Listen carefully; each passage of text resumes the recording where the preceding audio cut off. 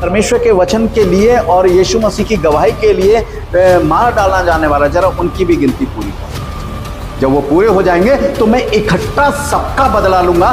फिर मैं अपना क्रोध दिखाऊँगा इस दुनिया के लोगों पे जिन्होंने मेरे लोगों को बेमतलब में घात किया है।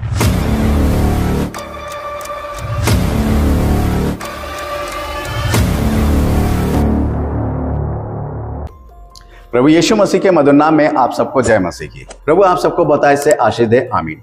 हम बात कर रहे हैं प्रकाशित वाक्य की पुस्तक के बारे में।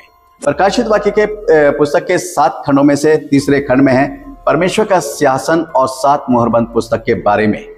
परमेश्वर, पिछले संदेश में हमने देखा था, प्रकाशित वाक्य छह अध्याय और उसके नौ पद, नौ, दस और ग्यारह पद को हमने पढ़ा था। और ये पांचवी मोहर के बारे में हमने सीखा था। और विशेष तौर से हमने नौ पद के बारे में जो है, वो ज़्यादा सीखा था। आज हम उससे आगे जो है, वो सीखेंगे और विशेष तौर से दसवें पद को हम फिर से पढ़ेंगे और पांचवी मोहर के बारे में सीखेंगे कि परमेश्वर का वचन क्या कहता है। जी हाँ प्रकाशित वाक्य छह अध्याय और उसका दसवां पद है। उन्होंने बड़े शब्द से पुकार कर कहा, हे स्वामी, हे पवित्र और सत्य, तू कब तक न्याय ना करेगा और पृथ्वी के रहने वालों से हमारे लहू का बदला कब तक ना लेगा? उनमें से हर एक को श्वेत वस्त्र दिया गया और उनसे कहा गया, और थोड़ी देर तक विश्राम करो, जब तक कि तुम्हारे संगी दास और भाई जो तुम्हारे समान वध होने वाले हैं, उनकी भी गिनती पूरी ना हो ले। चलिए, पहले हम दसवें पद की बात करते हैं। ये जो वध किए गए लोग हैं, जो परमेश्वर के वचन के कारण और परमेश्वर के पुत्र, अर्थात हमारे उद्धारकर्ता प्रभु यीशु मसीह की गवाही के कारण, जो वध किए गए हैं। वो पुकारते हैं। ठीक है? अब वो पुकारते कैसे हैं? वध किए गए लोग, वो लोगों का जो लहू है, वो भूमि से पुकारता है। जैसे हाबिल का पिछले संदेश में हमने उदाहरण दिया था कि हाबिल परमेश्वर कहता है कि तेरे भाई का लहू जो है, भूमि से मुझे पुकारता है। उसके बारे में बातचीत हो रही है। ये किसको पुकारते हैं? अब सवाल ये देखिए, बड़े शब्द से पुकारते हैं। अब यहाँ पर जो है बड़े शब्द से पुकारने का मतलब है ऊँची आवाज़ में ज़ोर से पुकार रहे हैं। एक व्याकुलता है उनके अन, उनके पुकार के अंदर। एक उत्तेजना है उनके पुकार के अंदर क्या है कि उनको ये बहुत इंतज़ार करते करते ऐसा लगता है, इंतज़ार करते करते जो है, जिस न्याय को वो पाना चाहते हैं, जिस न्याय को वो देखना चाहते हैं उनके जीवन में, जो पलटा लेने का कार्य प्रभु का है, उनका पलटा जो है प्रभु कब लेगा, उसकी व्याकुलता जो है, वो दिखाई दे रही है, उनकी पुकार के अंदर जो है, ऊँची आवाज़ में जो वो पुकार रहे हैं और न्याय की जो है, वो मांग कर रहे हैं, उस व्याकुलता के साथ। अब पुकार किसके रहे लिए रहे हैं? किसको पुकार रहे हैं वो? हे स्वामी, अब यहाँ पर स्वामी किसको कहा गया है? यहाँ पर ध्यान दीजिएगा जरा, हमें इन चीज़ों को जानना बहुत ही ज़्यादा ज़रूरी है। जब आप मती तेईस अध्याय, उसका दस पद पढ़ेंगे, यहाँ पर क्या लिखा है? और स्वामी भी ना कहलाना, क्योंकि तुम्हारा एक ही स्वामी है, अर्थात मसीह। मलाकी एक और छह में लिखा है कि परमेश्वर हमारा स्वामी है। जी हाँ परमेश्वर, देखिए, स्वामी हमारा एक है। मती में जो है, लिखा हुआ है कि हमारा एक ही स्वामी, हम पृथ्वी पर किसी को अपना स्वामी ना कहें। आज बहुत से स्वामी हैं। स्वामी किसी को नहीं कह सकते। स्वामी सिर्फ़ प्रभु यीशु मसीह है, परमेश्वर है, जिसको हम स्वामी कहते हैं और हमारा एक ही स्वामी है, जिसका नाम प्रभु यीशु मसीह है। दूसरा और कोई स्वामी हमारे जीवन में होना नहीं चाहिए। अब उस स्वामी के बारे में वो क्या कह रहे हैं? हे पवित्र और सत्य, कौन है ये पवित्र? कौन है ये सत्य? अब बद किए गए लोग जो हैं, उस पवित्र को और उस सत्य को पुकार रहे हैं, जो स्वामी हैं। प्रकाशित वाक्य तीन अध्याय, उसके सात पद को जब आप पढ़ेंगे तो वहाँ पर जो है, फिलदिया फिलदिया की कलिसिया जो है उसके दूत को जो है वो लिखा जा रहा है। अब क्या लिखा है कि जो पवित्र और सत्य है और जो दाऊद की कुंजी रखता है, जिसके खोले हुए को कोई बंद नहीं कर सकता और बंद किए हुए को कोई खोल नहीं सकता, वो ये कहता है।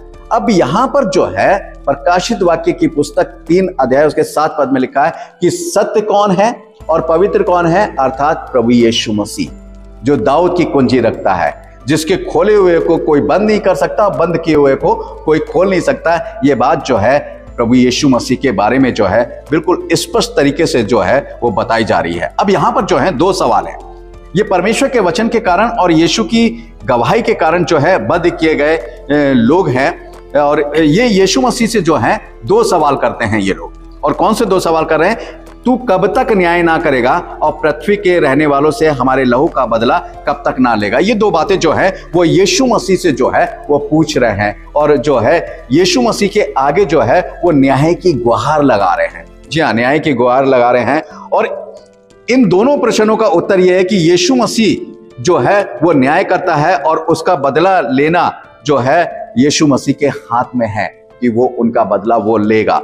क्योंकि यीशु मसीह के पास जो है, ये क्यों वो कह रहे हैं स्वामी, तू कब तक हमारा न्याय नहीं करेगा? हे पवित्र, है सत्य, तू कब तक हमारा न्याय नहीं करेगा? क्योंकि यीशु मसीह जो है, उसके हाथ में जो है, परमेश्वर ने जो है, उसके पिता ने जो है, स्वर्गीय पिता जो है, उसने सारा न्याय का काम जो है, प्रभु यीशु मसीह के हाथ में सौंप रखा है। मैं आपको बता देता हूँ, आप निकाल लीजिए।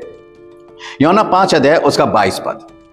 मैं यहाँ पर पढ़ता हूँ, पिता किसी का न्याय नहीं करता परंतु न्याय करने का सब काम पुत्र को सौंप दिया है। जी हाँ पिता जो है, वो किसी का न्याय नहीं करता है। न्याय करने का सारा अधिकार किसके पास है? यीशु मसीह के पास है। और इसलिए जो पृथ्वी पर जिनके प्राणों को यौना देख रहा है, जो पांचवी मोहर खुलती है, कि वेदी के नीचे देखा, यानी पृथ्वी पर उनके लहू को देखा, जो पुकार रहे हैं, किसको पुकार रहे हैं? उस स्वामी को पुकार रहे हैं, जो सिर्फ़ एक ही है। स्वर्ग में और पृथ्वी पर सिर्फ़ एक ही स्वामी है, जिसका नाम प्रभु यीशु मसीह है। उसके अलावा कोई स्वामी नहीं है। और उसको उस स्वामी को जो सत्य भी है, जो पवित्र भी है, उसको पुकार रहे हैं। जी हाँ उसको पुकार रहे हैं और उससे कह रहे हैं कि तू कब तक हमारा न्याय नहीं करेगा और कब तक हमारा पलटा ना लेगा। ध्यान दीजिएगा, अब यहाँ जो है, हम रोमियो बारह अध्याय उसके 19 पद में पौलुस क्या कहता है? हे प्रियो, बदला ना लेना, परंतु परमेश्वर के क्रोध को अवसर दो, क्योंकि लिखा है, बदला लेना मेरा काम है प्रभु कहता है कि मैं ही बदला लूँगा।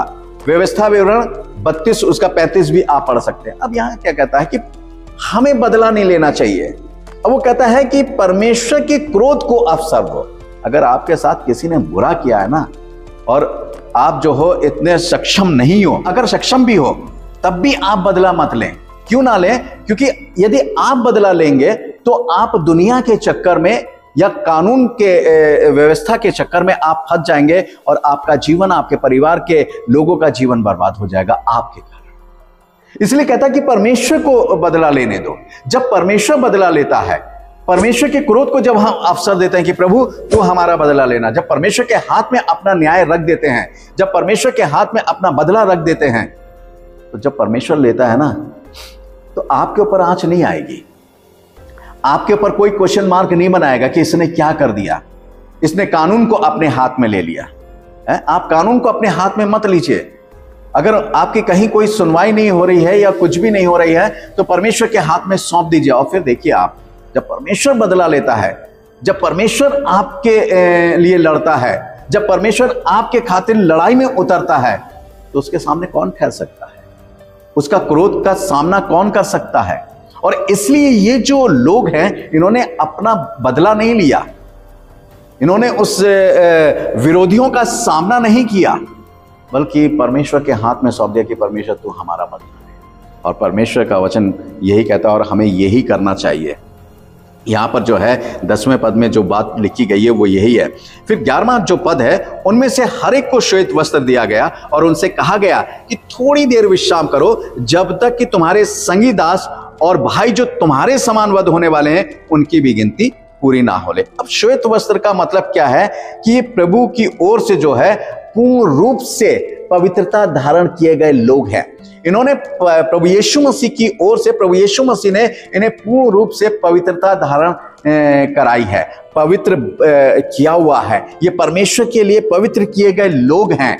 श्वेत वस्त्र का मतलब ये होता है, ये नहीं है कि हमने, जैसे आज पृथ्वी पर देखते हैं ना कि हम सफ़ेद वस्त्र पहने हुए अपने आप को बगला भगत समझने लगते हैं?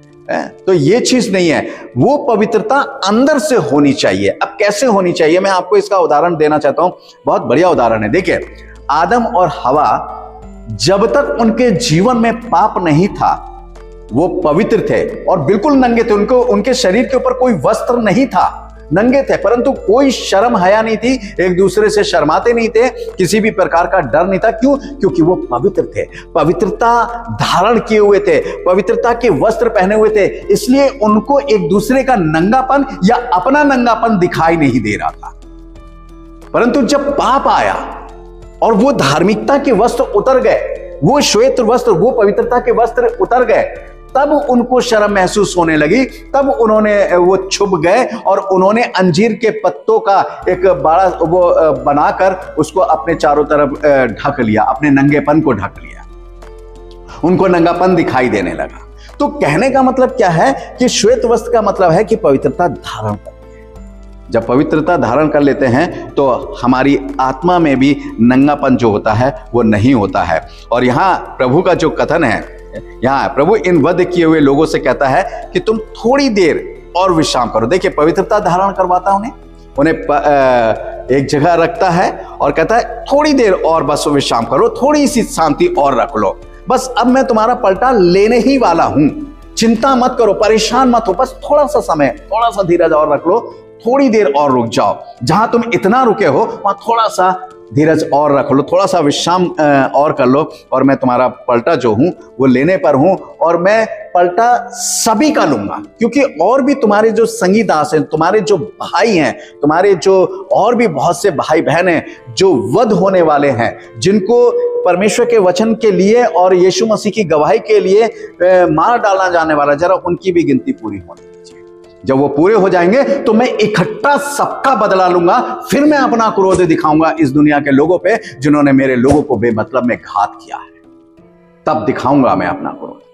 यहाँ प्रभु यीशु मसीह यही कह रहा है, और मैं आपको बता देना चाहता हूँ 31 एडी से लेकर 313 एडी तक और 538 से लेकर सत्रह ईस्वी तक जब आप पढ़ेंगे, जब आप रोम का इतिहास पढ़ेंगे तो यहाँ पर जो है, मसीही लोगों के बारे में जब आप पढ़ेंगे, मसीही लोगों का बहुत बुरे से कत्ले आम किया गया था। बहुत सताव किया गया था। बहुत से लोगों को मार डाला गया था। परमेश्वर का वचन जो बताता है और ये इतिहास जो है, वो बताता है। और 31 एडी से लेकर और 313 एडी तक में तो बहुत ही भयंकर जो मसीही लोग थे जिनको सताया और मार डाला गया और जंगली जानवरों के बीच में डाल दिया गया। और बड़े बड़े जानवरों की खालों को निकाल कर उनको खाल में जो है वो चुनवा दिया गया, ज़िंदा आग में जला दिया गया। बहुत सी यातनाएँ जो हैं वो उनको दी गई हैं, जिसको आप देख भी नहीं सकते, सुन भी नहीं सकते। इतनी भयंकर यातनाएँ जो हैं वो उनको दी गई हैं और परमेश्वर कहता है कि उनकी भी गिनती पूरी हो लेने दो। और जो है वो भी जो है इस वचन के को फैलाने में और यीशु मसीह की गवाही के लिए जो है वध किए जाएँगे और लोग आएँगे। और जो वध किए गए लोग हैं, जो मसीह को ग्रहण किए गए लोग हैं, जब आप पढ़ेंगे, प्रकाशित वाक्य सात अध्याय, उसका एक से आठ तक एक लाख चवालीस हज़ार लोगों की संख्या जो है वहाँ पर दी गई है। और एक लाख चवालीस हज़ार लोगों पर जो है वो मोहर की गई है। परंतु जब आप उसके नौ पद को पढ़ेंगे तो वहाँ पर जो है एक बहुत बड़ी भीड़ जो है वो दी गई है। जी हाँ यहाँ पर लिखा हुआ है प्रकाशित वाक्य सात के नौ में, इसके बाद मैंने दृष्टि की और देखो, हर एक जाति और कुल और लोग और भाषा में से एक बड़ी भीड़, जिसे कोई गिन नहीं सकता था। श्वेत वस्त्र पहने हैं और अपने हाथों में खजूर की डालियाँ लिए हुए सियासन के सामने और मेमने के सामने खड़ी है। अब यहाँ देखिए, एक बहुत बड़ी भीड़ है। जी हाँ। उनकी भी संख्या, वो संख्या प्रभु जानता है। वो उन लोगों से कह रहा है, जो एक लाख चवालीस हज़ार लोग जो वध किए गए उनसे कह रहा है कि अभी ठहर जाओ। और वो और भी जो भाई हैं, तुम्हारे, वो भी वध किए जाएँगे, मार डाले जाएँगे, उनकी भी संख्या पूरी होने दो। और खजूर की डालियों का मतलब क्या होता है? ये विजयी लोग हैं। इन्होंने बुराई के ऊपर, उन कलेशों के ऊपर विजय प्राप्त करी है। पुराने समय में जब राजा लोग युद्ध जीत कर आते थे तो उनके सैनिकों के हाथ में खजूर की डालियाँ हुआ करती थी। और वो खजूर की डालियाँ इस बात का प्रतीक होती थी कि ये राजा जो है, युद्ध से विजय होकर आया है। युद्ध से जो है, वो जीत कर आया है। और यहाँ पर जो है, इनके हाथों में खजूर की डालियाँ होने का मतलब है कि ये लोग जो हैं बड़े उस महाकलेश काल से विजय होकर निकले हैं, उस बुराई से विजय होकर निकले हैं, उस बुराई पर इन्होंने विजय प्राप्त, जो है, प्राप्त कर ली है, जय प्राप्त कर ली है, ये वो लोग हैं। और परमेश्वर का वचन भी कहता है कि क्या कहते हैं, ये में युद्ध में विजय पाए हुए लोग हैं। प्रकाशित वाक्य, सात अध्याय तेरह और चौदह पद में पढ़ रहा हूँ, यहाँ क्या लिखा है? इस पर प्रचीनों में से एक ने मुझसे कहा, ये श्वेत वस्त्र पहने हुए कौन हैं और कहाँ से आए हैं? मैंने उनसे कहा, हे स्वामी, तू जानता है। उसने मुझसे कहा, ये वे हैं जो उस महाकलेश में से निकल कर आए हैं। इन्होंने अपने अपने वस्त्र मेमने के लहू में धोकर श्वेत किए हैं। देखिए, महाकलेश काल से जैसे मैं अभी वर्णन कर रहा था प्रकाशित वाक्य के सात अध्याय, उसके तेरह, चौदह पद में भी ये बात लिखी है कि ये श्वेत वस्त्र पहने हुए लोग कौन है? ये वो पवित्र लोग हैं जो महाकलेश काल में से निकल कर आए। और अपने वस्त्र का मतलब है अपने शरीरों को यीशु के लहू से धोकर इन्होंने शुद्ध और पवित्र किया है। कलंकित नहीं होने दिया फिर इन्होंने। जब इन्होंने एक बार यीशु मसीह के लहू से अपने आप को धो लिया है तो फिर इन्होंने कलंकित नहीं होने दिया। ये वो लोग। ये वो लोग हैं जो वध किए गए लोग हैं। परमेश्वर का वचन कहता है, और इफिसियों छह बारह को जब आप पढ़ेंगे तो हमारा मलयुद्ध कहाँ है? लिखा हमारा मलयुद्ध जो है, आकाश की शक्तियों से, प्रधानों से, इस संसार के हकीमों से, अंधकार की शक्तियों से हमारा युद्ध है। उसमें हमें विजय प्राप्त करना है। और पहला तिमिथियो छः के बारह को जब आप पढ़ेंगे, पॉलुस कहता है कि विश्वास की अच्छी कुश्ती लड़ा जी हाँ हमारा युद्ध है, विश्वास की अच्छी कुश्ती, हमें लड़ना है। हम युद्ध के अंदर है इस अंतिम समय में। तो हमें भी, मेरे प्यारे भाइयों बहनों इन लोगों की तरह विजय पाना है और उस श्वेत वस्त्र को हासिल करना है, उस खजूर की डालियों को प्रभु से हासिल करना है, ताकि हम भी भी लोग देखें और कहें कि हाँ ये विजय पाए हुए लोग हैं और उस महाकलेश काल में से निकले क्योंकि महाकलेश काल जो परेशानी, जो बुराइयाँ इस पृथ्वी पर चल रही हैं या हो रही हैं, और भी भयंकर होने वाली हैं, उसमें हम विजय पाए प्रभु आप सबको आशीष दें।